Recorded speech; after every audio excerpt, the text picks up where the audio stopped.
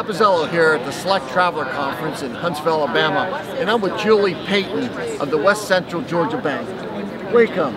in Thomaston, Georgia, Thomaston, Georgia, very good. just south of Atlanta. South of Atlanta. Well, Julie, tell us about your travel club. I know it's been going on for quite some time. Where are some exciting destinations that you're considering? What I'm considering is I'm looking to do another cruise. We've, done several cruises just about everywhere, but I'm looking to do a Caribbean cruise right now. And um, we're going to Texas to do the tri- triple triple uh, city tour. Uh-huh.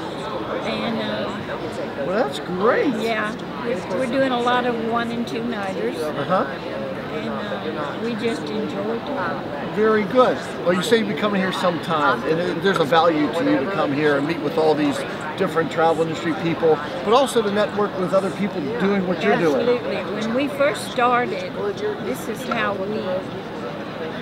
This is how I learned to travel and who to go. Uh, I mean, you can find someone that'll plan every detail for you, or you can do things on your own. It's just a worth of information to get. And a chance for you to find someone you could trust. Absolutely, absolutely, which is important today.